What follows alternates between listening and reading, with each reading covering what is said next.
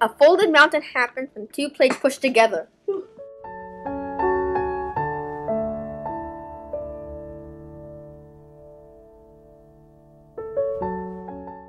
An upward mountain is when forces from the earth pushes up a part of the crust. A fault-blocked mountain is when huge, tilted blocks of rock are separated by faults, or in other words, when one plate goes up and another goes down.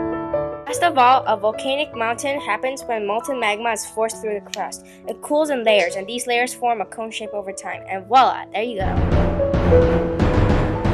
Mountains change over time because it makes the mountain old, just like elders. The mountain will have a rounded shape being called mature mountains. Mountains are important in people's lives. Mountains form natural wind barriers, affect the land and weather, and affects the land opposite of it.